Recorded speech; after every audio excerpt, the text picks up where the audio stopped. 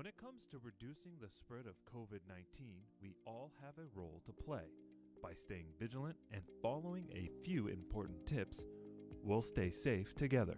Proper hand hygiene and not touching your face are critical. Wash your hands often with soap and water, especially after you've been in a public place. If soap and water are not available, use a hand sanitizer.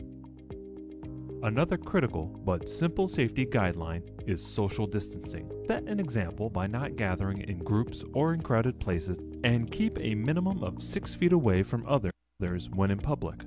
You should also stay vigilant by cleaning and disinfecting your home regularly, especially frequently touched surfaces. For example, objects like doorknobs, light switches, and faucets, or surfaces like countertops, tables, and desks, and even technology like your phone, keyboards, and remote controls. Remember that following these universal guidelines and reminding your friends and families to do the same will lessen the impact and spread of COVID 19.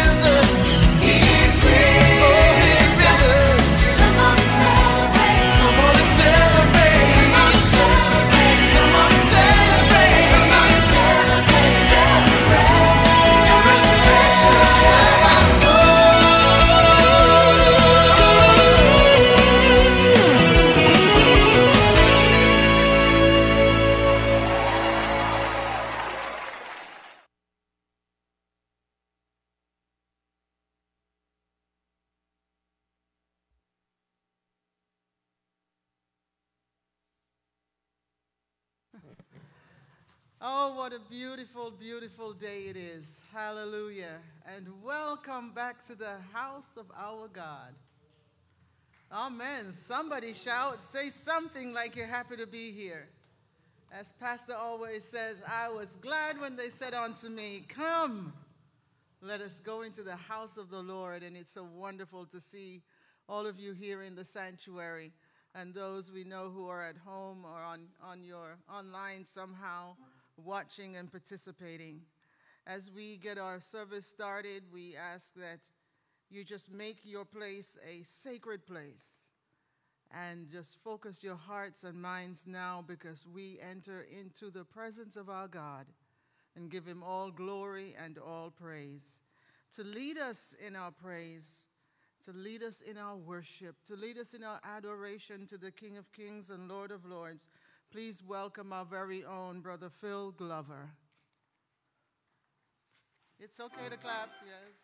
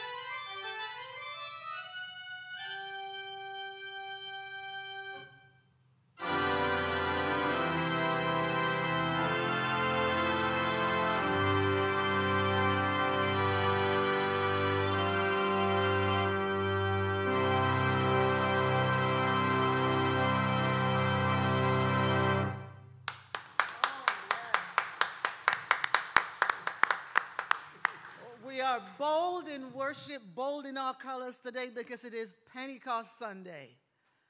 It is that day when we commemorate the outpouring of the Holy Spirit, not only upon us, but within us, filling us to the overflowing until we even speak in tongues unfamiliar to us and yet still are understood, where we are emboldened for service for the Lord and able to do beyond our own physical and mental abilities because we have supernatural help. Can somebody say amen? amen? Yes. So today we rejoice. You know, only Holy Spirit can wear red so well. And so let us, if you would stand with me for our call to worship today, that will just add on to what Brother Phil has just done. Testify to the goodness of God. Sing praise to God. Testify to the love of Christ. Sing praise to Christ. Testify to the presence of the Holy Spirit. Sing praise to the Spirit. Let us pray. Wind of God, present since before creation, fall upon us. Whisper to us, shout to us, comfort and guide us, align us anew, and revive our own spirit to love and serve. And as we say amen, would you put your hands together and could we give just the Holy Spirit a clap offering? Hallelujah. Amen. Amen. And now listen, I want to warn you.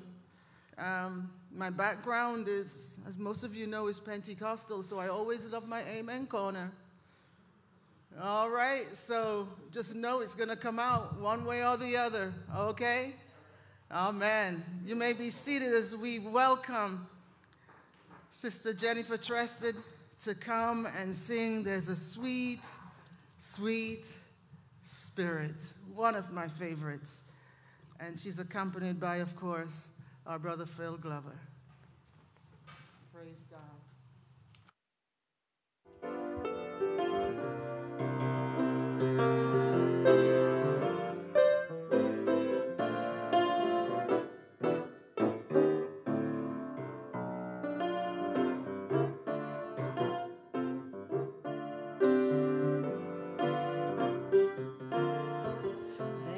A sweet, sweet spirit in this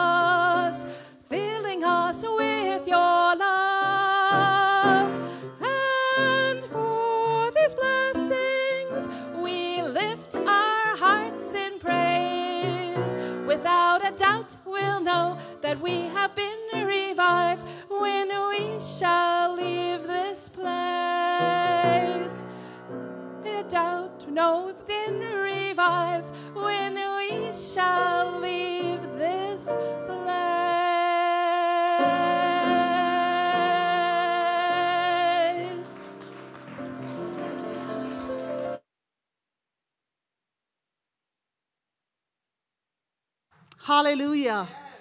That's just such a wonderful sound, Sister Tristan. God bless you. Wonderful rendition. Wonderful. To God be the glory. What a day. Today is Pentecost Sunday, and you can feel a fire in here. We're jazzing things up in the Westbury UMC, and we just give God thanks and praise for the wonderful ministry of all our talented and gifted ministers among us. We thank God this morning. Amen. Bless the name of the Lord. So we just want you to get ready to mark your calendars. We are excited. There is a lot of announcements. I'm going to go through them rather quickly so we can get to the good stuff. But we do have some important church matters and announcements that we want you to take note of. Do keep in mind that the church office is open. It is now open from 9 a.m. to 1 p.m. We always want to remind you of that so you know it is not 10 to 3. Please, any announcements, any prayer requests, anything that you need to get into the office, please make sure that you are doing so within the hours of 9 a.m. and 1 p.m. That's when our, our, our church admin, Nina, will be in the office. Please also remember that we do pray. A church without prayer is a very weak church, and I want y'all to know that we are a very strong church. We are strong in spirit, we are strong in faith, and we are believing God for big things. So we want to make sure that we are praying Monday, Wednesdays, and Friday mornings at 6 a.m. The prayer line number is right before you. We know that we want you to set that alarm. Make this year extra special by waking up and joining the company of believers. On Wednesday morning, we do begin to introduce um, well, actually, Sunday mornings is adult Bible study. So Sunday mornings at 7, at 8.30 a.m., we do have our adult Bible study, and we're putting that up there because we want you to dial in, and there is an access code that is being that is happening every Sunday morning at 8:30 a.m. That is our adult Bible study. So the number is on the screen for you. The passcode is on the screen. Do join in. I do believe that is being led by our brother Ed Hale, and it, the discussions are amazing. He usually has a, a very well formatted way that that the adults learn and study the Bible. 8:30 a.m.s in the morning morning. And on Wednesday evening, now we do have Theo Talk, and Theo Talk is, is just uh, another way of engaging the Bible and engaging Scripture. We do that through theological discussions every Wednesday at 7 p.m. with our pastor. That is on Zoom. It is continuing to be on Zoom for now, and we just want you to join in. It's from 7 to 9. We engage real topics, real relevant issues that are uh, affecting us right now, and we learn what does the Bible say about that? How relevant is it that we are going through what we're going through today, and, and how what does the Word of God have to say about that to help us in these times? We want you to be reminded that our dear sister Iona Monroe, um, she has transitioned to be with the Lord. The wake and the viewing will be from 9 to 10:25 this Friday, May 28 at the church. The service will be from 10:30 a.m. to 11:30 a.m. The information is on the screen, so please, the internet, um, the interment will be at the Plain Lawn Cemetery at uh, 279 West Old Country Road, and that's in Hicksville. So please um, do, if you want to pay your respects and support the family, they will be here on Friday at 10:30 a.m. So we, we will be in agreement with that and in prayers, continued prayers for the family, for, the, for Sister uh, Monroe's family. Amen? Boy Scouts are continuing to ask us to look out and to engage young troopers that are ready, willing, and able. They are looking for Scout Masters to help please contact our brother Cox, Scoutmaster Cox, and also Scoutmaster Alex Nunez. They are looking for scout leaders as well as for the young men between the ages of 11 and 18 to participate. We've been making those announcements steadily, so we do believe that it is in your hearing, and if you know of anyone, that you will forward them to the right people.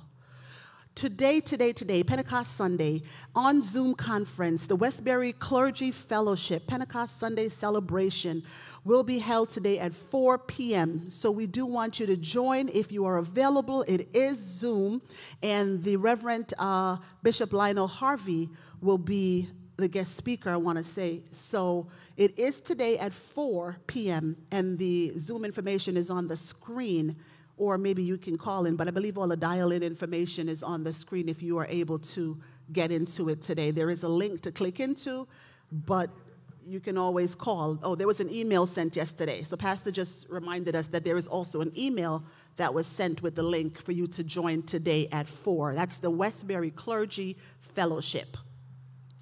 As you have continued to give into the house of the Lord, there is special offerings, and um, we have been doing this initiative uh, for about a week now. Uh, the special offering is requesting for flood victims in the Gambia.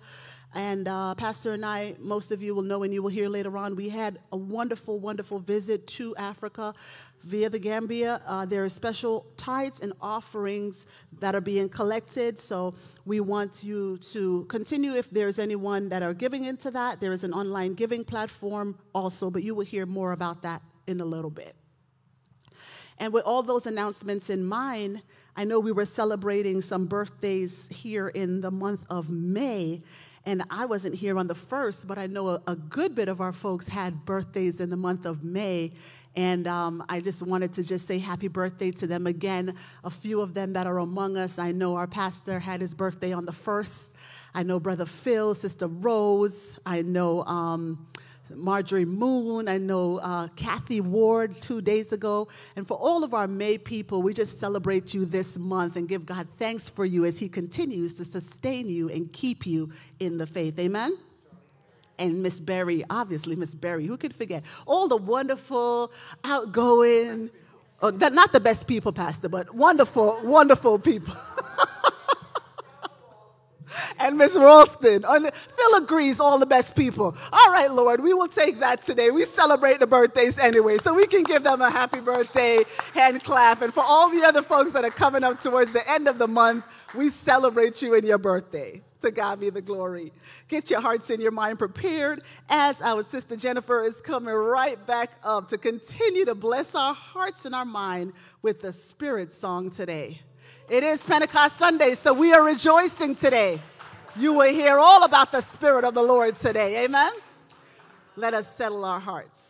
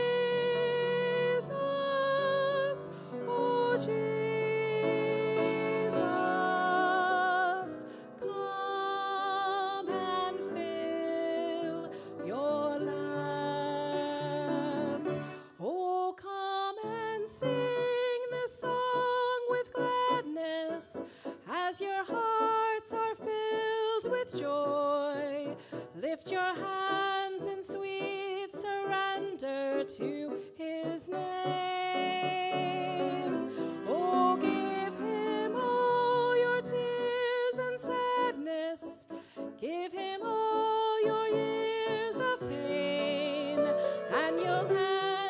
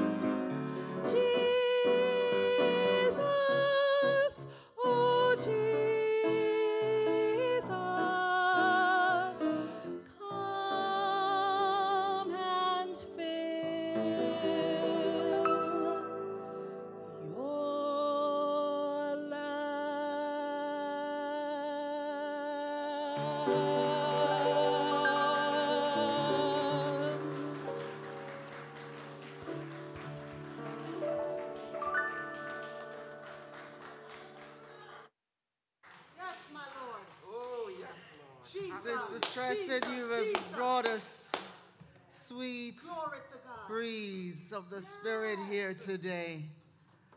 Just the sweet move of the Spirit. Hallelujah. And you re- refreshing.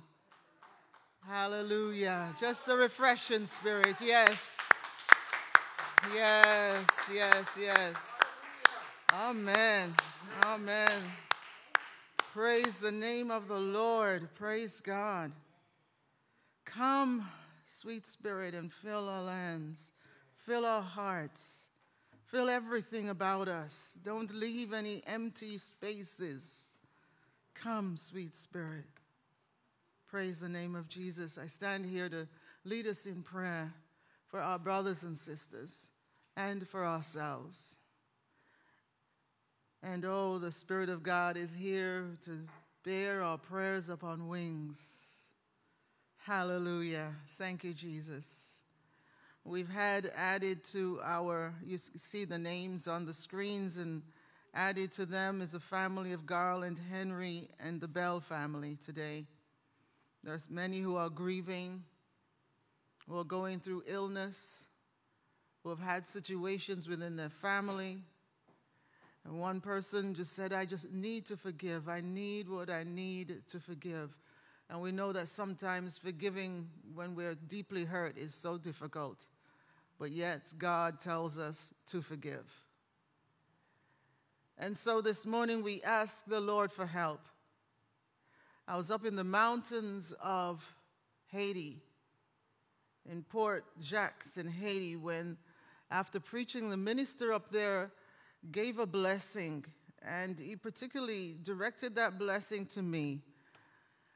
And verse, two, I'm going to read verse 2 of that blessing. It is from Psalm chapter 20. I keep it very close to me. Psalm chapter 20. It says, May God send you help from the sanctuary. And the King James Version says, and strengthen you out of Zion. Oh, could I say that again? May God send you help from the sanctuary and strengthen you or support you out of Zion. I visualize that, you know, we watch movies and we see somebody held up by the enemy. And this, that, you know, it seemed to be only them, and the enemy is wearing them down, and they've somehow sent for help, whether it's pigeon by pigeon or smoke signal or one person escaped, but somehow they sent for help. And just in the nick of time before their barricades or before their defenses got breached, you heard the sound of the trumpet, you heard the sound of the tubal. Help is here. And the enemy is pushed back and overcome, and they are delivered. So this morning, may God send you help from the sanctuary. And I know it's not my time to preach, but this has gotten deep under my skin. When you come into the presence of the Lord, when you come into the sanctuary, it is not just a formality. It is to lay a foundation and to stake your claim that in the time of trouble you can say, God, send me help from the sanctuary and strengthen me from Zion, this place. Strengthen me, support me from this place. And so, God, our prayer is just that today. That in all our calamities, in all the wars we fight on so many sides, in all our tribulations, in all our frustrations and misunderstandings and misgivings, in all the things that we feel that tie us up on the inside and weigh upon us so heavenly, heavily, dear God Almighty, send us help. And we are so willing with open arms to receive the help you send us. Thank you, Holy Father. Thank you, Holy Spirit. Hallelujah. Hallelujah. Somebody bless the Lord up in this house. Thank you. Thank you. Thank you for the help. Oh, because you have not abandoned us. You have not left us to the beggarly elements. But even the angels come to bear us up, lest we should dash our foot against the stone. I don't know about you, but I have a sense of invincibility. Not because I'm arrogant or foolish, but because I know the help comes from Zion. Ah, when I need it. Amen. Yes, sister. Somebody's testifying back there. Amen and amen and amen. We're going to have our word and response, and immediately afterwards, we are going to be again mm, transported into that place where the Spirit of God touches earth. And we are gifted again once more with a sense of Pentecost. Is that all right? Is that all right? Listen, when you come into the house of the Lord, whatever is going on, you got to have a little bit of excitement up in here because this is where your help comes from. My help. Oh, oh, pastor is preaching today. Hallelujah. Amen. yes, Lord. Hallelujah. Stand again with me and join with me in our word and response. Hallelujah. For those of you who are, think, are still hesitant to come to the house of the Lord, come. There's enough room. Come. It's amazing. The more of us that are here, the greater the ignition of spirit. I mean, even, even the sense of our maestro, Brother Phil's fingers, tips on the organ and thing just seems to be lighter. Yes. Hallelujah. Come. Amen. We'll be reading from Psalm 104, verses 24 through 34. Hallelujah. From the New King James Version. O Lord, how manifold are your works. I already hear the sermon. I'm sorry, I already hear it. Yes. Forgive me. Let me behave myself in the house of the Lord today. O Lord, how manifold are your works. In wisdom you have made them all. The earth is full of your possessions.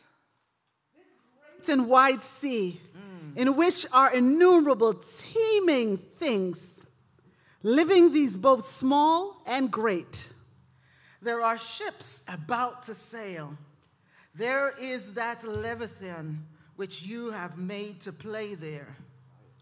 These all wait for you. You must, you, that you may give them their food in due season. What you give them, they gather in. You open your hand, they are filled with good. You hide your face, they are troubled. You take away their breath, they die and return to their dust. You send forth your spirit. They are created, and you renew the face of the earth. May the glory of the Lord endure forever. May the Lord rejoice in his works. He looks on the earth and it trembles. He touches the hills and they smoke. I will sing of the Lord as long as I live. I will sing praise to my God while I have my being. May my meditations be sweet to him. I will be glad in the Lord. Hallelujah. Amen. Hallelujah. Us- yes, put Yes. your hands together as we receive the dance ministry of Westbury UMC. Hallelujah. Hallelujah.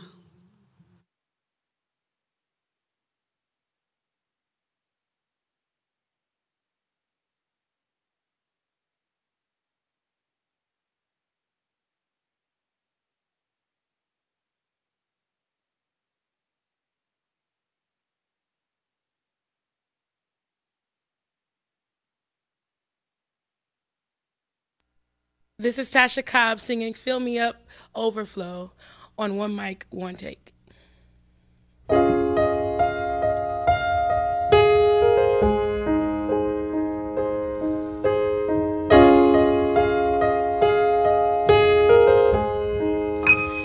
You provide the fire.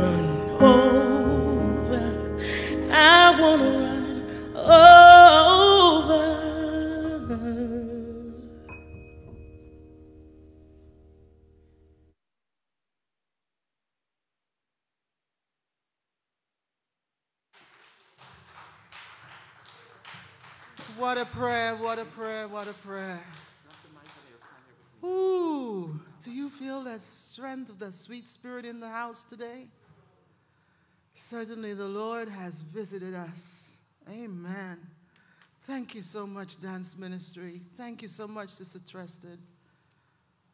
Thank you so much, Brother Phil, for leading us to this point where we would ask to be filled to the overflowing. And I know it's the overflowing that empowers us so much to do all that God has asked of us and that which our hearts desire. Let us be filled today to the overflowing.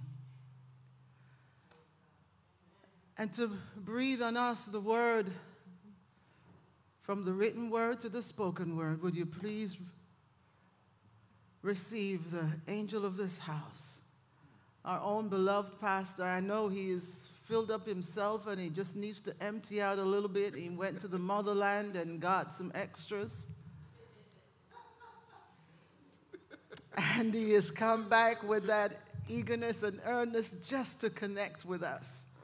So please warmly welcome our pastor, the Reverend Dr. Elon Sylvester. Yes. Well, praise the name of the Lord. Pastor Sonia, you always introduce me so nice. Sometimes I wonder who you're talking about. I'm like, who, me? Praise the Lord. Well, we thank God today. And today I'm not going to preach a sermon per, per se, but what we're going to try to do is to give you a little bit of a reflection of our little trip to Gambia, some of the things that we've learned, and some of the things that has weighed heavily on our spirit, and I believe it will weigh on your spirit also. Um, so Tani will be helping me today. And I know when Pastor Sonia saw the uh, word and response, she got all excited because something the Lord said to her in that, and she said, Oh, I see what the servant is going to be today.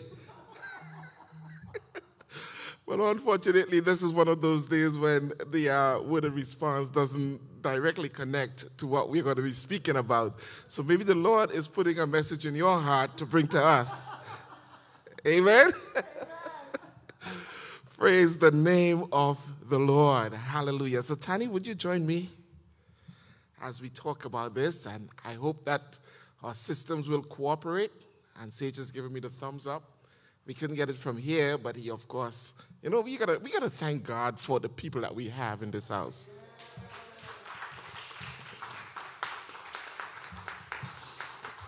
Sometimes, sometimes my heart is so full because in this house, oh God, God's put good people here. Good people. People who work sacrificially. People who work behind the scenes you all don't even know.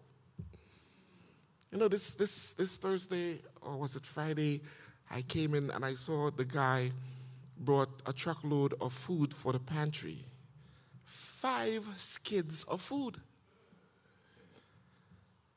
And if I wasn't here, guess who would have had to take that five skids of food, included one skid full of bags of rice, like 60 pounds bags of rice. Guess who would have had to bring all of that in? Just Sister Naz and Sister Antoinette.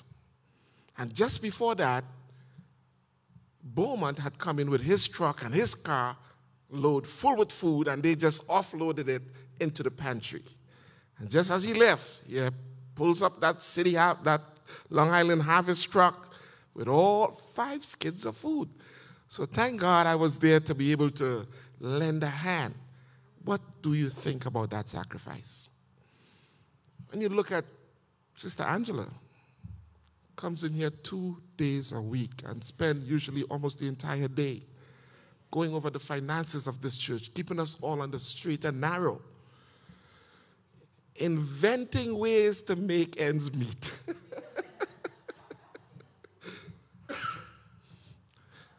and she does that every single week. Hmm?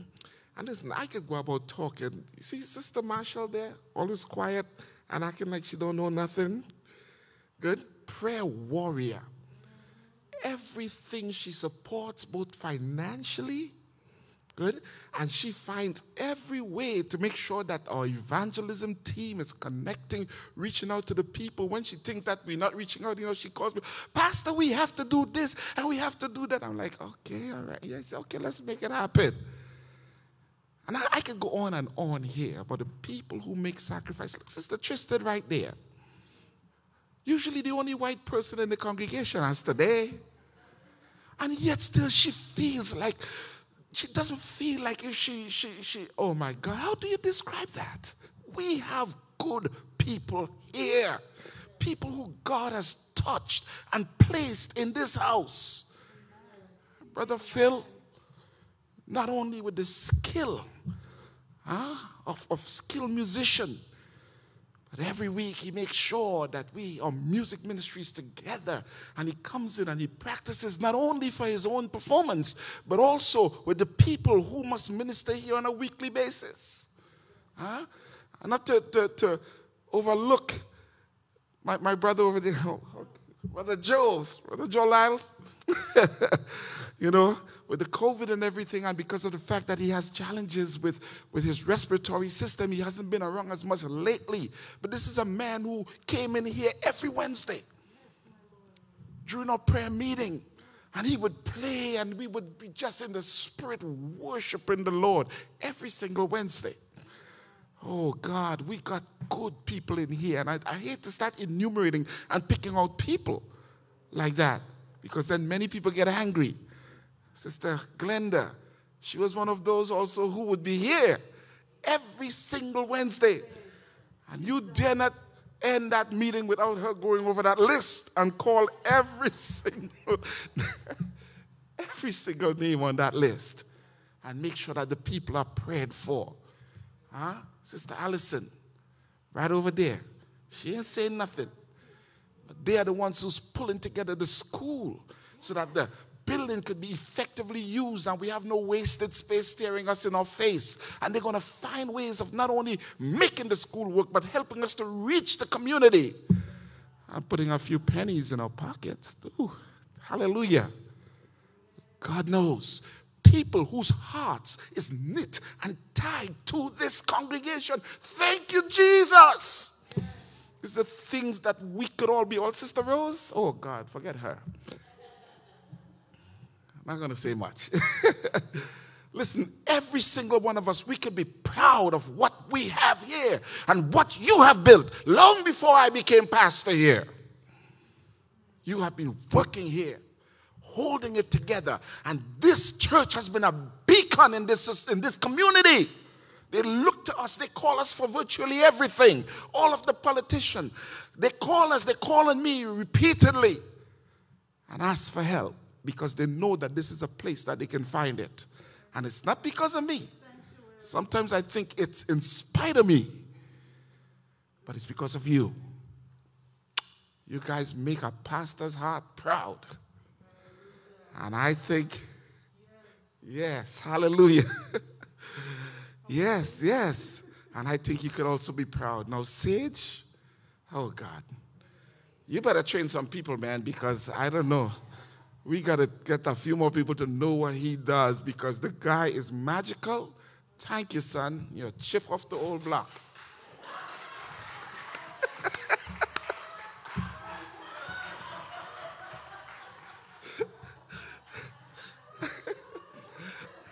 I don't think you might agree, but praise the Lord.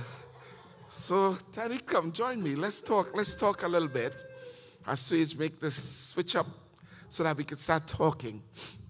About our recent trip to the Gambia and some of the things that we experienced there? It was a wonderful trip.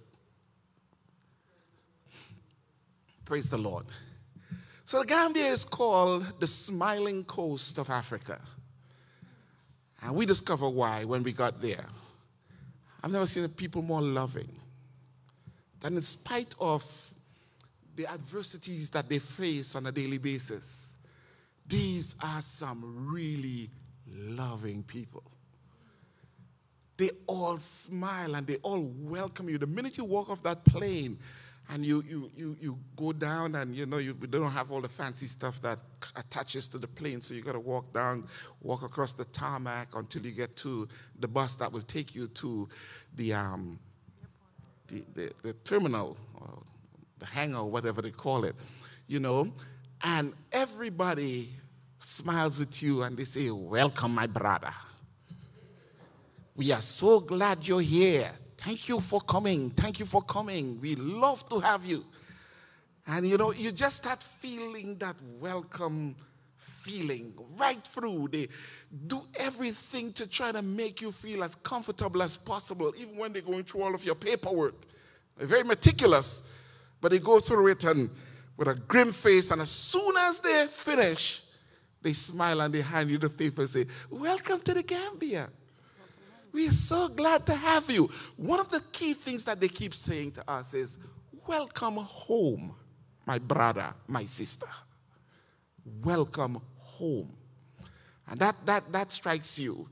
As a person of color, it really strikes you. Because in the Gambia, as, as in many other African countries, they are beginning to come to a realization that the black folks that are in the West are here and are as much a part of them as anybody else that live on the continent. And as a result, some of these nations, they have what is called an open repatriation policy, meaning that black people in the West who were taken away from the continent by force, don't sit down, come be, who were taken away from the continent by force, that they have a right to return. That if you would like to come back to Africa and to live there, you should have that right. And as a result, they maintain that repatriation policy that you would be able to get automatic citizenship when you get there. In the Gambia, that has been reversed because of some of the political problems that they have over the last uh, 10 years or so. But right now, there's also a move ahead to put back that repatriation policy in place. So that's one of the reasons why um, some of the people they would say to you, Welcome home, my brother. We're glad to have you back. when I got there, I, I was so moved because I thought about the fact that my ancestors were taken from the continent by force. And now I am back. And I probably is one of the first generations who were able to voluntarily go back to the continent. I got there and I felt so moved. I had to kiss the ground. Just because of the fact that I know that my ancestors wished that they could have done that, that they could have gone back. But unfortunately, they couldn't. And I, who have the freedom to be able to do so, I thought that I owed it to my ancestors to return to that continent and at least to be there and to see and to understand the people, what's happening, what they're doing, you know, the way they live, the things that they do. And when you get there, you see so many things that you see in the Caribbean and here in the United States that you wonder if we had really left. You really begin to wonder. You hear them saying words that is used commonly anywhere in Jamaica, in Trinidad, even in some parts of the South, here among like the Geechee people and so on, South Carolina. You would be amazed of the similarities that exist in spite of the slave trade. Praise the Lord. So, Sage, you want to put up some more of the video? Let's look at some of those images and talk about them. Right, so these are the people with all of the smiles. Everywhere you go, smiles, and people treat you. The thing is that the people are very poor, so um, behind the smile, you have to be very careful because they would take you for a dollar in a heartbeat. They know how to get money out of you. What we found out is that they have two pricing. In fact, there's no fixed price on anything. You come and they see you look like a foreigner, suddenly you got their first price. you get the first prize because everything is negotiable. Now, if you don't know about the first prize and the last prize, you're going to pay the first prize, which is sometimes 400 times, 400% what they will actually. and they have a word that they call us tubabs, foreigners. You know? So you have the tubab price and then you have the Senegalese price. So if you're smart, it's a good idea to get a Senegalese person with you to negotiate anything that you want to buy. Uh, so, oh God, sorry, the Gambian to, to, to negotiate anything that you want to buy because you would get it so much cheaper if you have a Gambian with you. All right, so just in case you decide to go there, be warned. Praise the Lord. Now, the country is one of the weirdest things. If you look on the screen, you would see the shape of the country. It is the smallest country in on the African continent. On the contiguous African continent it's the smallest country on the continent, right?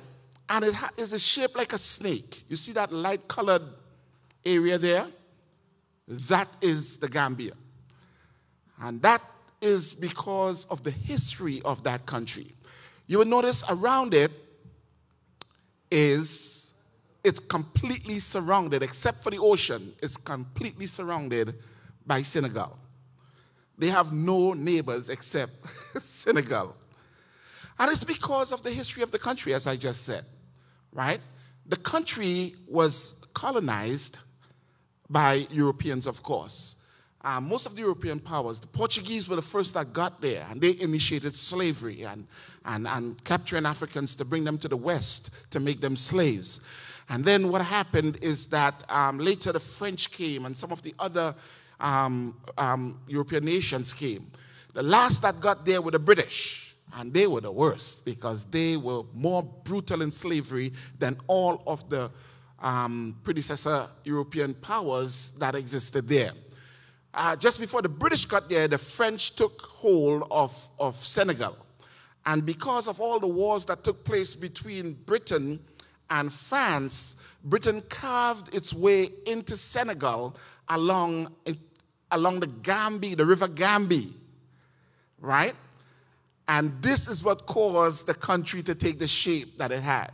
They made treaties with some of the local chieftains that were there.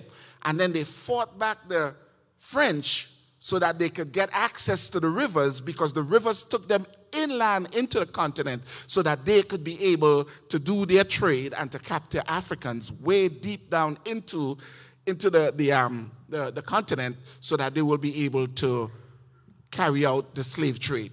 So the country is a little thing that is carved out right along both sides of the river Gambia, hence the name the Gambia, right? And um, Kambi is one of the words for one of the native language, which means a long river. Right? So eventually, uh, the perversion of the word by, by the, the Europeans, it ended up being Gambia instead of Cambi. And then later on, everybody referred to it as the Gambia. The Gambia, which is now the official name of the country. So this is the way that the country is shaped because of its history. And as a result of, of the fact that this country was under such control by, by the European powers, a lot has happened there.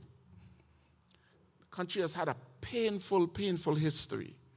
The people were always subjugated and, and, and suppressed because it was essential to keep strong a strong military presence and a strong hand there in order for the Europeans to be able to carry out the trade that they wanted to carry out deep into the, uh, the African continent. Before they carved it out, this pretty much is what it looked like. Senegal was pretty much looking like that, and like 18 something, this was the way it looked until they finally carved out that little sliver around the river, which is called the, the Gambia. Gambia is a beautiful place. Come on, Danny, you could help me talk about this now. It's a beautiful country. When you look at the natural flora and fauna of the country, oh my God, I tell you, you would sit there on, on the beaches and you just feel like a peace that passes understanding. you know? Um, the waters are beautiful. And because of the fact that it's at the mouth of a river, you have a mixture of salt water and sweet water, which they call brackish water. As a result, you have one of the highest diversity of aquatic life that you could find. As a matter of fact, there's so much variety of fish and other living creatures in the, the waters there, not only in the river, but right out into the ocean. You will find every imaginable species of fish. It is so rich with fish that uh, the Chinese um, trawlers, they go through there and they will hook one trawler onto the other and they would just drag a net right up the coast and just haul it in with thousands of pounds of fishes.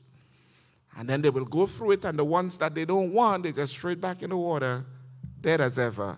It washes up on the shore, and it brings an awful smell. They then take the fish that they catch and they take it into their factories, which they have set up on the coast, and they convert it into dry pellets of food, which is shipped back to China and it's made into all of the products, you know, cat food, dog food, etc., that we buy here in the United States and other parts of the world. And guess how much of that goes back in terms of wealth into the Gambia? Except for the very little wage that they pay to the people who work there. Nothing else goes back into the Gambia. It is one of the poorest nations on the African continent. The average salary of a Gambian in US dollars per month, can anybody take a guess? Come on, don't sit there and look at me like I'm lying. take a guess. How much? Say again? 100. Okay, Sister Glenda says $100. Oh man, the Gambians will love you.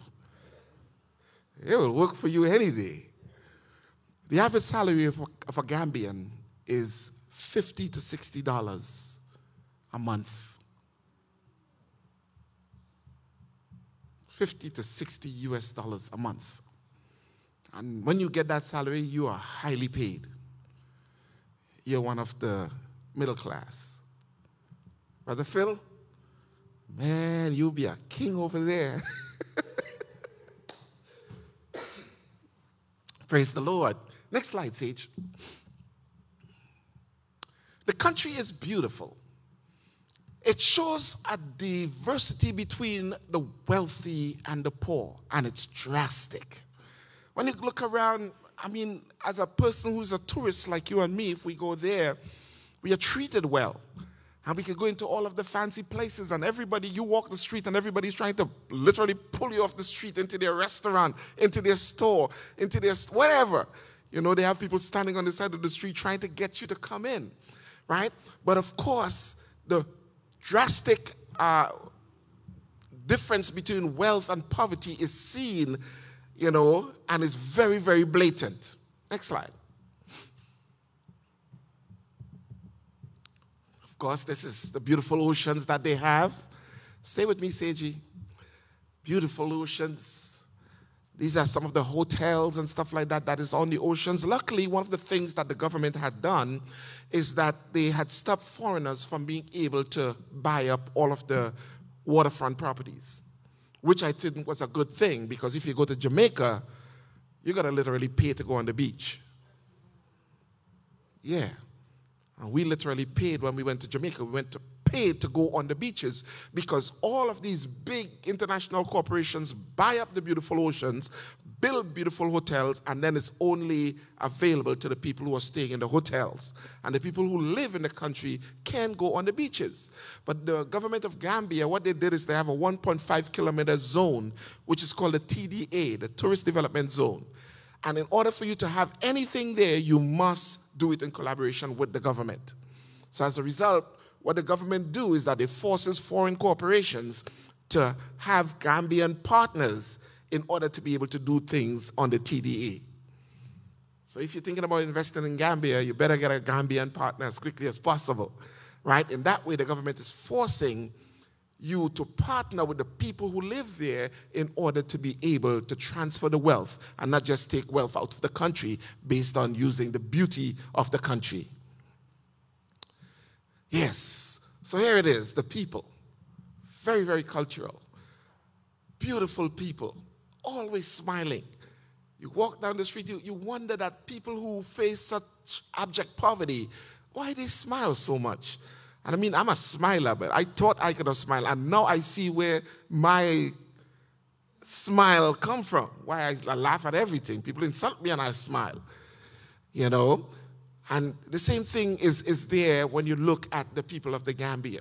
You know, they're walking the street and stuff like that. Sometimes you see the frustration on their face, but all you got to do is look at them long enough and they smile with you. You know? What you see, as I said before, is the abject poverty that exists in the villages. This is the way that the people live. When you get off what they call the tar roads, the, wood, the roads, very few roads are paved with asphalt as we know it. The vast majority of, of, of those uh, of the roads that is used by the people are dirt roads. So as a result, there's always dust all over the trees and everything all around the country, on the buildings. You park your car.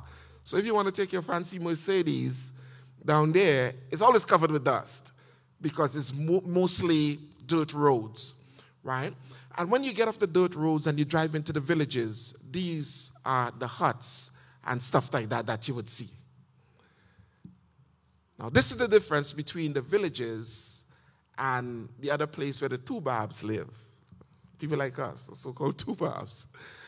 Um, a lot of, of foreigners come in and they buy up all the beautiful houses, all of the beautiful land, the, the, the beautiful places that are close to the beaches, as, as close to the beaches as they can get. And these houses cost like about anywhere from about $45,000 going up. US. What does that mean? It means that if your salary is $60 a month, how many of those houses can you afford to, to buy and to live in? Yeah. So you're forced to live in the house to my left, as compared to the expatriates coming from abroad who could buy the beautiful houses and live in them. The difference between wealth and poverty. See the fancy lady there riding on the boat, going down to the hotel that is on the water, as opposed to the man sitting at the bottom. And this is his daily life. God barely makes a living, usually by fishing or by planting peanuts. Peanuts and cashew nut. Cashews are all over the country, it grows wild. So as a result, they pick the nuts off the cashew and they leave the, the fruit so that the fruit could ripe and people could eat it. But the nuts, that's gone early because they need to sell that in order to live. Peanut is the, is the biggest crop that they have in that country. Um, it's the only natural resource that they really possess. They have very little to trade with. So as a result, um, being in the peanut business is probably the best business that you could be in, but it's regulated by the government because the only market you have is to sell it to the government. The government then sells it abroad to Jif and some of those other big companies. What's that other one? Planters and Smuckers and those guys. And they take the peanut, they make peanut butter and all of the byproducts, peanut oil and all of that stuff, and they sell it back to the Gambians and to the rest of us because the Gambians don't have a lot of technology, a lot of factories, a lot of ability to be able to convert their own products into the byproducts that consumers like you and I use on a daily basis. That, does that give you the impression that maybe you might want to do some investments there? Some of you who have the skills and, and the, the ability and the know how. And this is one of the things that they say. They're asking, come back home. Come back. But when you come back, don't come here to think you're going to get a job. Because if you don't want to work for $60 a month, you're going to starve. But they say, come back. But when you come, bring technology, bring education, bring businesses, bring things that's going to generate employment to help us to be able to build this country. Because what's happening, folks, is that what happened to them 400 years plus ago with slavery is still happening in the same way. The exploitation of the economy by foreigners. Today, the European powers are not so much in there anymore, but now it's taken over by the Chinese, the Lebanese, the Indians, and they're the wealthy people who are coming in now. Some of the Europeans are still there, but they're the wealthy people that's coming in now and buying up everything. And the average Gambian have to work for them for peanuts, as we, could, as we say. Next slide. So, the difference between wealth and poverty. You can live in communities there that look like the one to my right, and then if you're native, you live in the community to my left. Yet still, the people are rich in culture. They dance and they sing, and all of the dances that they do and the, the, the things that they wear and stuff like that, it has cultural expressions and meaning. Just like the things that we do in church, when we take a, a, piece of bread and we break it and we take a cup and we drink it, there's significance behind that. When you get in to understand why a guy would dress like the guy at the bottom right hand corner, when you get there, you would ask yourself, you know, well, why does he have to put on all that stuff just to do a dance? But everything that they wear have a significance. When you get to understand it, you would see it coming out of the historical traditions of the people, and it's going to blow your mind as to exactly some of the deep meanings coming out of the experiences and the pathos, the suffering of the people. So when they do the dances and they wear all of the garb and stuff like that, it all carries deep meaning. The children, oh my God, the children, they are amazing. You know, they come around you and they all want to touch you. They want to grab your hand. When you look at their little eyes, oh God. Go ahead. While I cry. Become so emotional and he cries. Well, he wasn't always a wuss, right? But he's become one because um, what happens is that your heart breaks for all the things that you see. So, why I wanted to kind of inject right here where the children are concerned, I remembered um, meeting with one of the local guys who manages a restaurant close to where we stayed. And um, he was just so happy at the opportunity to have met us and just in talking to him and him sharing with us just a little bit about his life. And, you know, Pastor, having a heart for children, we have our children and, you know, all of our kids we wanted to meet his family, and so we said that to him. And for days we had been trying to get there. And his son kept asking him, like, Daddy, are they coming? Are they are they coming? You know, because he just they, he couldn't believe really that we were gonna come. Because it's like, well, so his so his father said to us, guys, you gotta tell us now when you're gonna come, because we're trying to make preparations for you guys. But my son is not believing me. My son is starting to think I'm lying. Because it's like, are you guys gonna come? You know, and I'm just thinking, what difference you know, our presence would make just a, a, little bit of like hope or a little bit of joy. And so we finally made the time and we went and met his family. And when we got there, he only has about three or four boys. And it had about 30 kids all around us, and they're all from the same town. They're all, actually, they're all from the same house, from the same yard, right? the same compound they call it right so 30 of them come out and like they're all around us and of course we're taking pictures because the pictures you see on probably are maybe were some of those and his kids are there and to him that just meant so much. It was just such an experience just to have pastor and i visit because it was like not only was he able to show his son that like they did come. See like you know they, they didn't just tell us that they were going to come and they didn't come. They did come. Now mind you getting to their their house and their town i was going to throw up because my stomach was like this because this is the road going up and down to where they are. And the cars is a mess because good luck to you if you don't have a 4x4 getting there. But the point is, when we got there, the hope and the joy that you saw. Now, I was wondering too why they were so excited to see us. And now we know when you go, we have to bring toys. They wanted toys, they wanted balls. They were like, no soccer ball, no, no toys. And I'm like, oh my God, if only I had known that that's all you wanted. But I just wanted to share that because it breaks your heart just watching them and you're thinking to yourself, they're so poor and have hardly anything, and all they want is a toy. Praise the Lord. And one of the things that they would do is the kids, as soon as they get a little chance at you, they touch you and say, hello. They know two words in English hello. And they say, hello. They say, something. Those are the only two words there. Praise the Lord. Hello, something, you know, anything. Give me something, you know, and it will break your heart. Because when we went to a place called Juffureh, and that's just the place. Sorry, folks.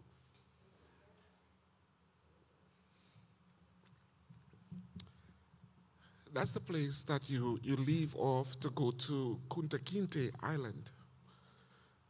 And Kunta Kinte Island is the island that um, Roots, the book Roots, and the movie that was made back in the 70s, is a true story. Most people didn't know that. I didn't even know it was a true I thought it was a fictitious rendition of what might have happened. But it's an actually true story. They actually found all of the records, including the records of the Akalos back in Africa that spoke about the disappearance of Kunta Kinte. And Alex Haley was able to trace his ancestral story. When we got there, there um, just before we went off to the island, we meet all these little kids again with the same thing hello, something. And when you go from one place to the other, they would run after the cars because they hope to catch you. If they didn't get something here, they're going to get something over the next place, you know. And we were so sad that we didn't bring much except the money that was in our pocket. But you can give kids money like that, you know, but they will take it. but Tani just had a pack of chewing gums. She, I don't know why she had so many chewing gums with her. And she started taking them and handing the kids one each, and they were so glad to get the chewing gum. They were pulling it apart. And then she began to run out. So she started tearing the chewing gums in two and giving. the last girl didn't get any chewing gum.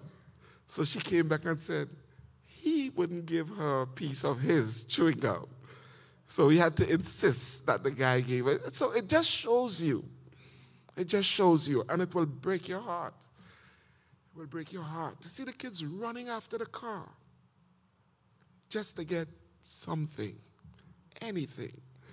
You know, and the minute you're there, they all pull out whatever they could do. There were some little boys who had a little instrument that they made with a string, a piece of wood, and it was attached to something else.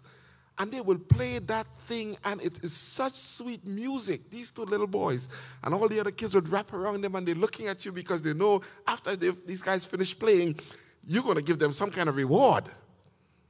So they're all waiting for when the reward starts getting distributed.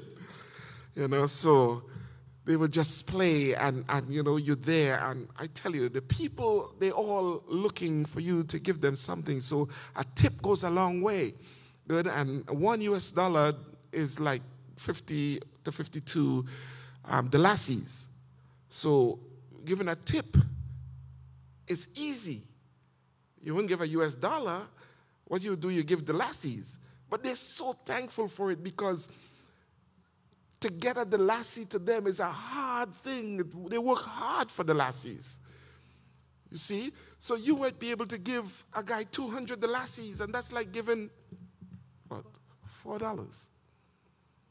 And to him, that's more than he probably works for for the day. You know?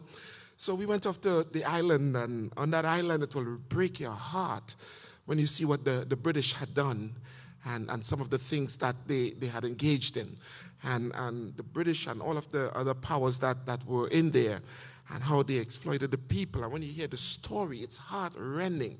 You get angry on that island, you, you get sad, you, you experience all the human emotions that you possibly could experience. And then you come back over and you meet with the children again, and they take you over to the museum. And in the museum, there were a lot of artifacts. Good? If you would skip Sage this one. Um, go back a little bit. Right, so this was the children. All right, next one. No, go forward. Yeah. So this, this one just talks about the, the problems that they have with water. You, would, you cannot imagine that a country that is built around a river and the people do not have pipe-borne water.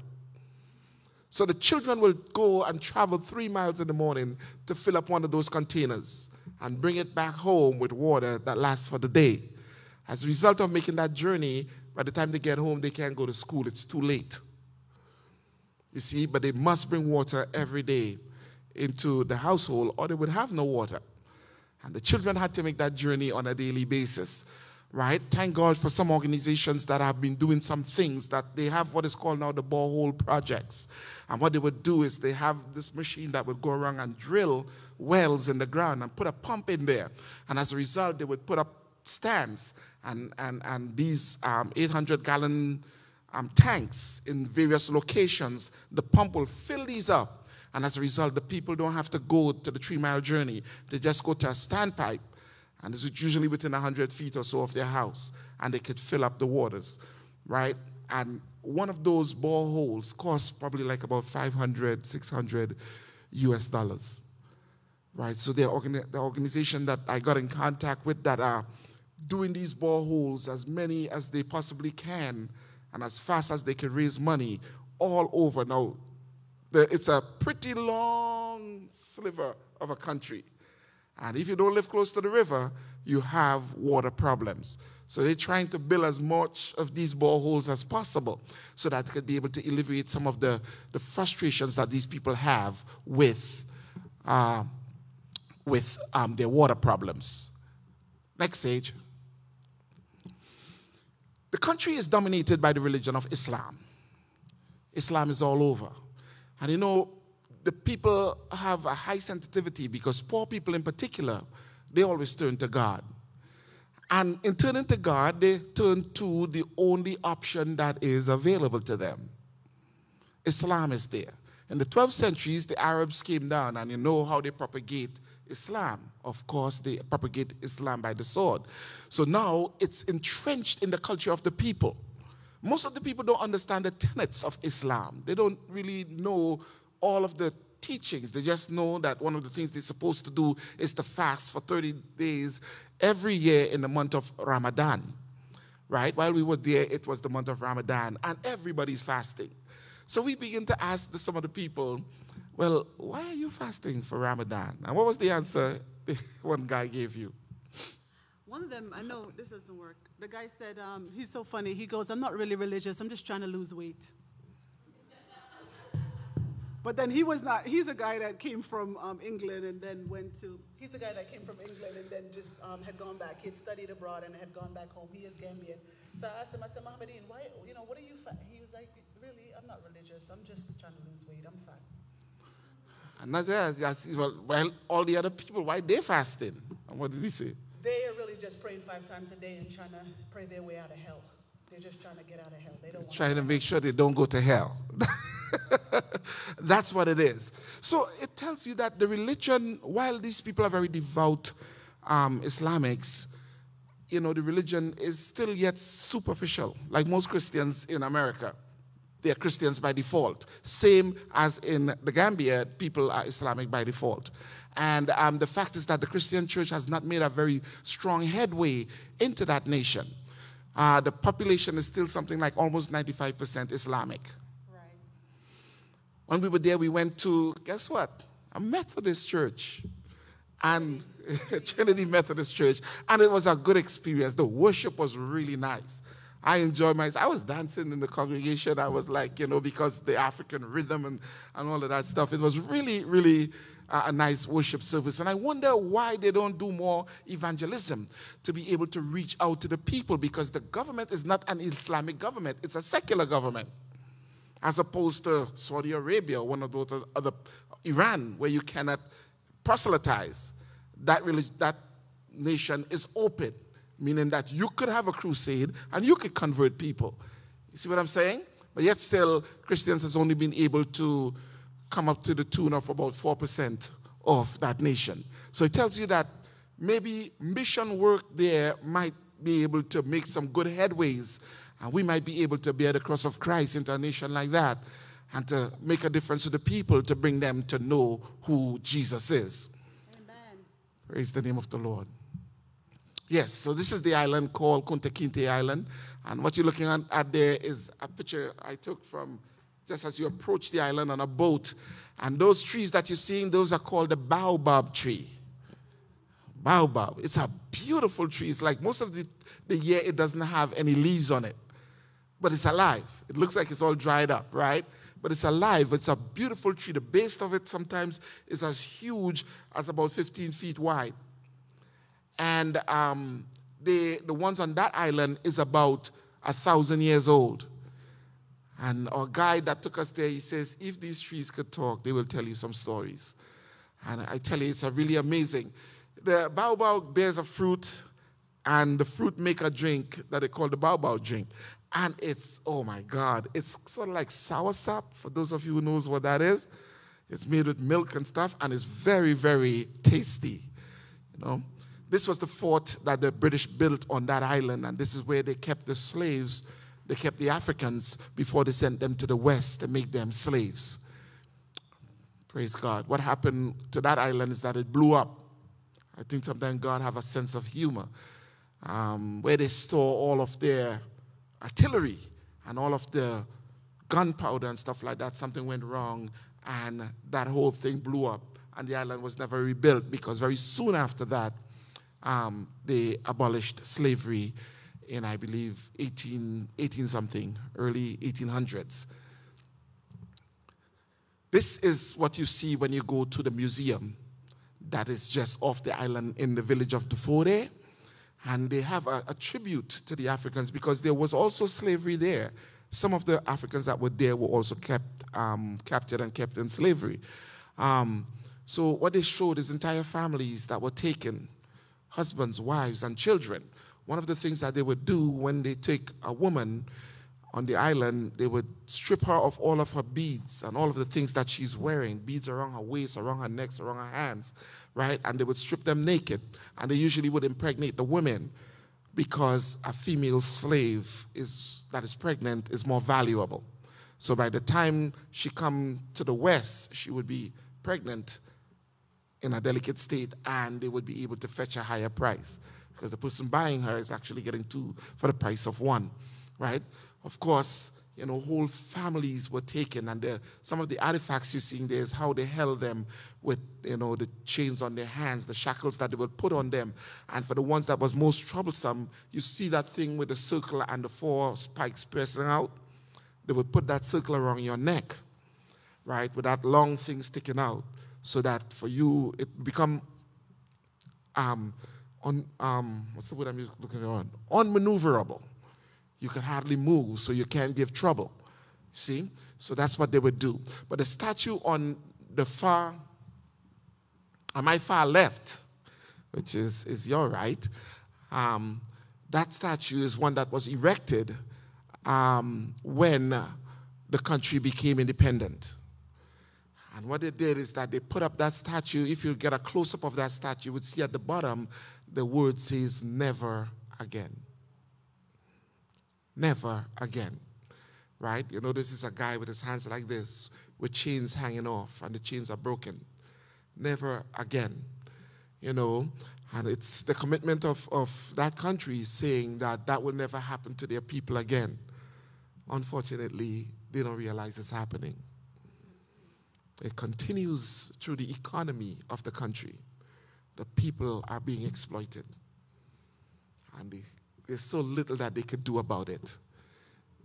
Next slide. Now, this is on, on the island, Kunta Kinte Island, the guide, and some of the people that were there with us. The guide is the, the guy in the white shirt, and of course, the lady in red there is Tani, is the lady in red here, um, who's having a real moment after hearing some of the stories on that island. Incidentally, I was telling you about the beads that the women would wear.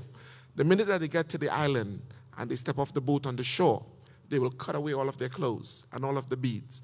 Now you could actually walk on the shore of the island and you could find beads that's been sitting there for hundreds of years. We brought some of them with us because you could actually see how they made the holes in the, in the little rocks and the little pebbles and stuff like that and made them into the beads that went around the waist and, and that adorned the women you know, and those things are still there that you can literally pick up as artifacts that you can keep, you know. But when you have that experience and you walk over that island and you see some of the things that were described to us, it really brings you to a place where you have to take a moment to breathe and to swallow and to. I think everybody should go. Next slide.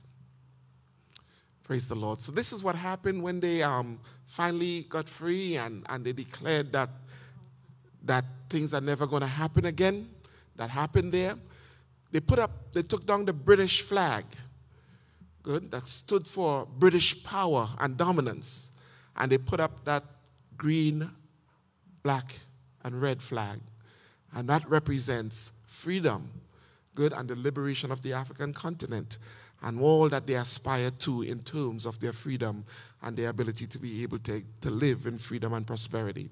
Right? So that flag flies there every day, and that statue sits right there in the village called Dufode, right? And it stands and represents all that their hopes and their dreams could afford them. Praise the Lord. So let's let's stop here. As you look at this cute little thing, look at these children.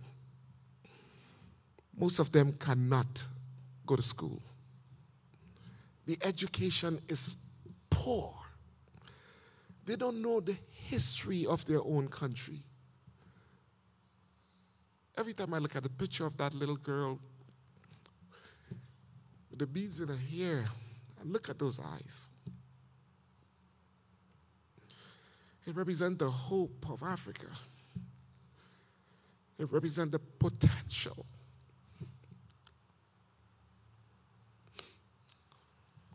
of all that these kids could be. Don't even have the ability to go to school and get the basic education that they need.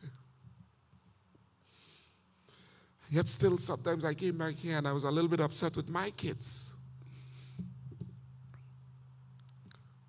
I'm pissed off about all kind of little stupid things. Uh, the internet isn't working well.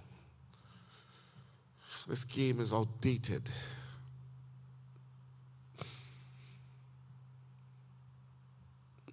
Folks, we are Christians. And this day is called the day of Pentecost.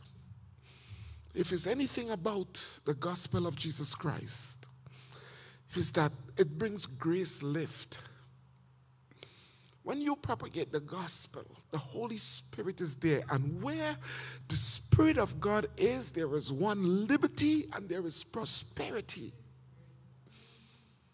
The best thing that we could share with the people in Africa is to come to know Jesus.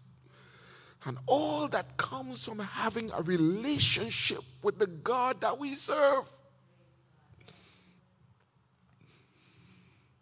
Jesus says, Go into all the world, preach this gospel to every nation, every man, every woman, every boy, every girl. Preach this because this is able to make a difference. Grace lift. When you have a relationship with God, oh, you may not have a ton of wealth, but you have the presence of God with you. The blessings of God make it rich, the Bible says, and it adds no sorrow. Believers, this is the end of my speech today. This is some of the experiences that we have had. I am committed in my heart that I can do as best as I can for the people that I met over there and work with organizations there that are trying to make a difference. And all of the wealth that we have here in the West and all that we enjoy and all that we, we, we, we, we frown and fuss about, going to that place would make you think. It gives you pause to know that you have so much. I take my family out and we eat, and you get a bill of $200. One person in Gambia getting that money, that makes, he could literally change his entire life. And we would spend $50 at McDonald's like that and not even bat an eye. Oh God. May God bless you. In Jesus' name.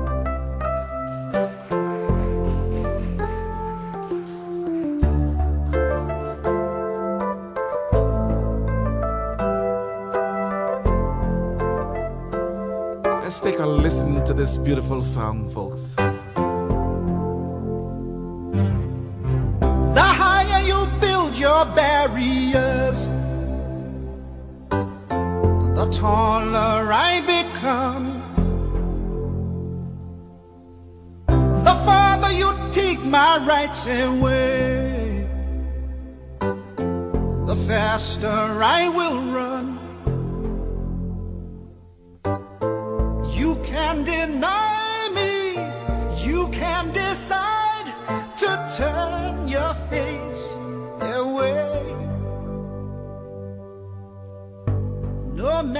Matter, cause there's something inside so strong.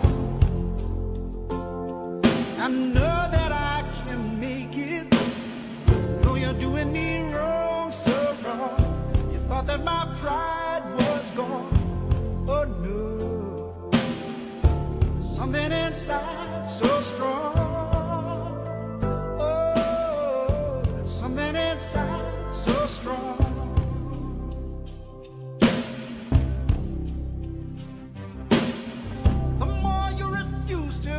My voice,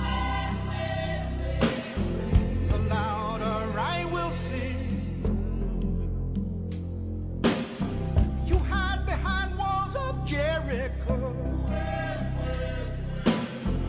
Our lies will come tumbling.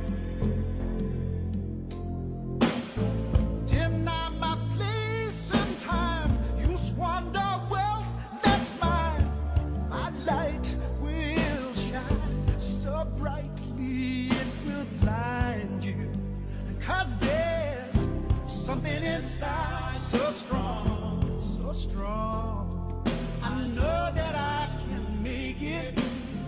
Though you're doing me wrong, so wrong. You thought that my pride was gone. Oh no. Something inside so strong.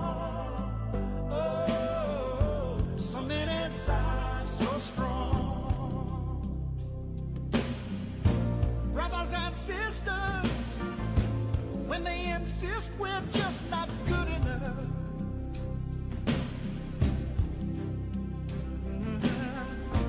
But we know better. Just look 'em in the eyes and say, We're gonna do it anyway. Gonna do it anyway. Something inside so strong. And I know that I make it. Though you're doing me wrong, so wrong. Thought that my pride was gone. Oh no. Something inside so strong. Oh, something inside so strong.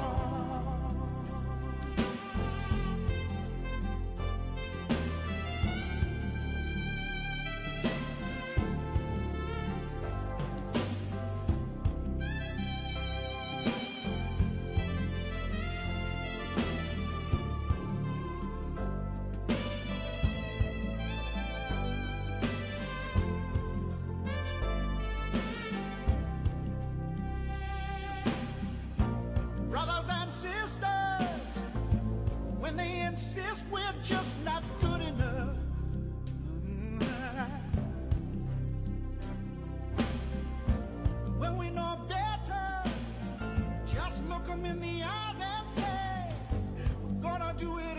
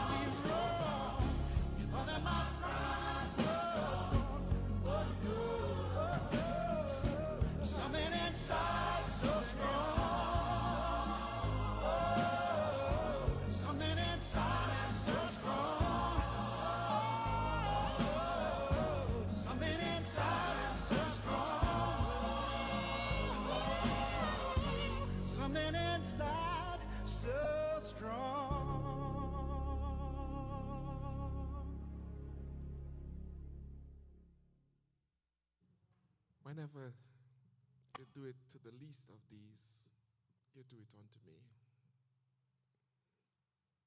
Come and help us. That's what they said to us.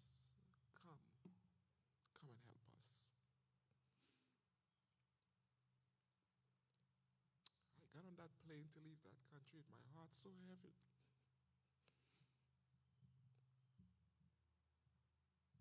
When I see the people and the suffering, and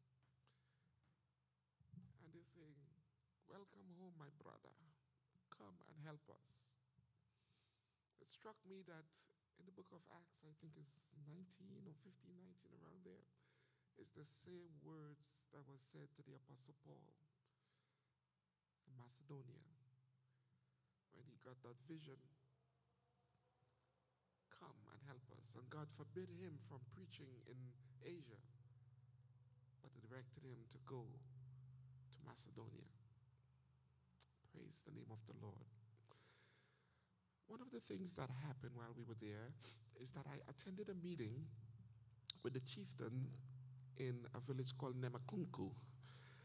And in that, we sat around, they have, they sit in a circle. And I was really scared because nobody is social distancing or anything over there, you know. And you sit in a circle and someone is right up on you, and it's like, oh my God, thank God I got vaccinated, you know. But um, that's just the way that they, they convene. And what happened is that they were discussing some of the problems they were having. And they were about to, there's a hum on the mic. They were about to go, they're about to go into the rainy season, which begins in the month of June. And what have happened for the last 30 years is that because of some of the developments that was built lower down, the rivers and the waters no longer have the ability to flow through the normal water courses to go to the ocean. And that's, that's because of the lack of physical planning. Because people come and they just buy up a piece of land and they don't care about what's going on other parts of the, the country. They just build a development and sell it to all of the rich people. So the water now backs up into the village. It covers the, the streets, it backs up into the people's houses, and most of the houses are mud huts. So when, when water comes in, it's only a matter of time before it becomes waterlogged and it falls apart. You know, the houses fall on people while they're sleeping. And even worse, because of the fact that the streets are flooded, the people can't go to work because sometimes there could be as much as five feet of water on the street. Now, note something most people there work and they get paid daily.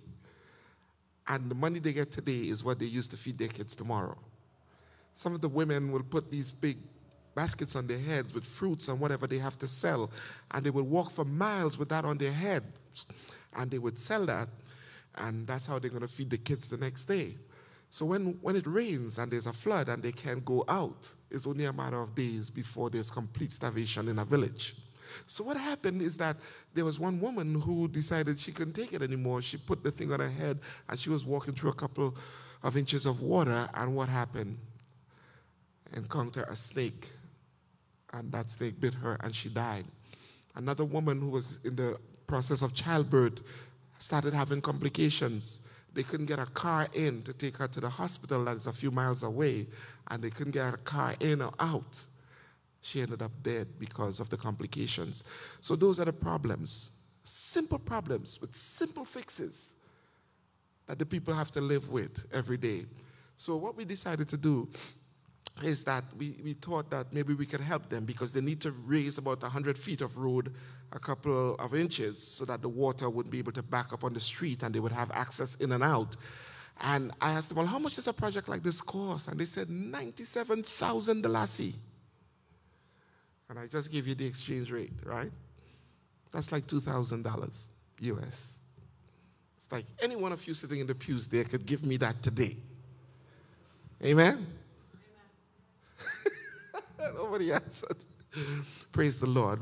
But I'm, I'm, letting you go now. I'm just saying, and I'm just saying this because I'm showing you simple, simple problems. I will take easy fixes, and we could make such a big difference for some of these people. So I'd like to ask you, sir, ma'am, if you could, if you could extend a hand in any little thing that you have, that we could send it to these people. We would like to send out this donation to them this week.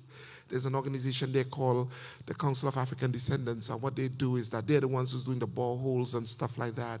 And they would just take this money, and they've already started trying to build a road. So if we could send this money to them, they'll be able to truck in gravel and stuff that they need to elevate the roads. Amen.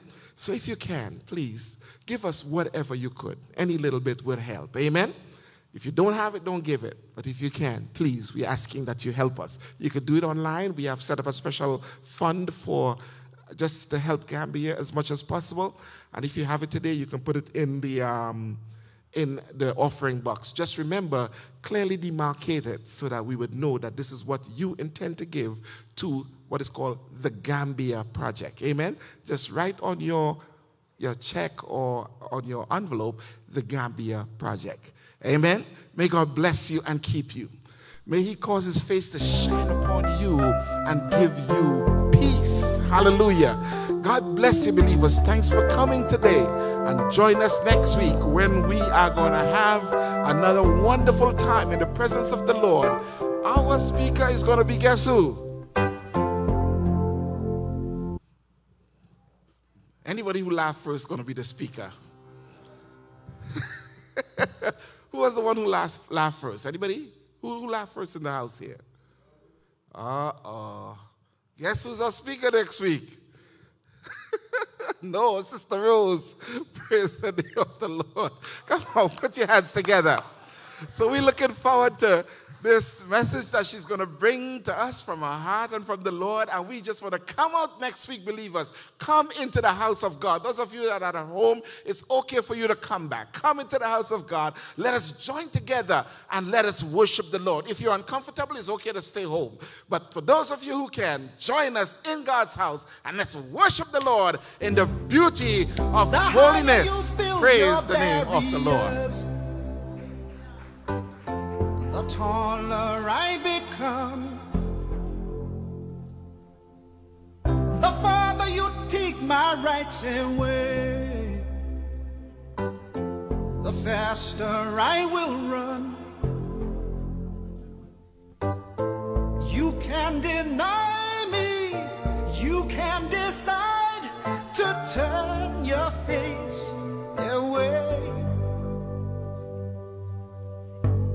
No matter, cause there's something inside so strong. I know that I can make it. Though you're doing me wrong, so wrong. You thought that my pride was gone. Oh no. Something inside so strong. Oh, something inside so strong.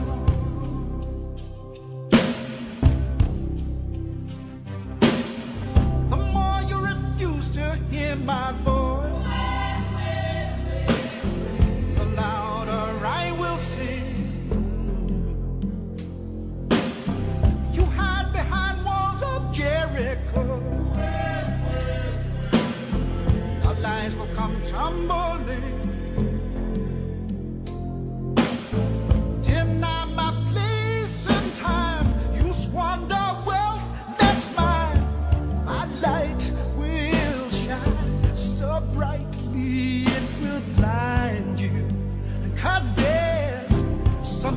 So strong, so strong. I know that I can make it. Though you're doing me wrong, so wrong. You thought that my pride was gone. Oh no. Something inside so strong. Oh, something inside